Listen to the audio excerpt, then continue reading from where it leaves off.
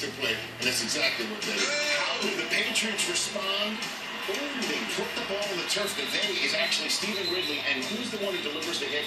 But the dreaded, hated in New England, Bernard Pollard, blowing up the Patriots one more time. Ridley loses the ball just before his buttocks hit the ground, and that was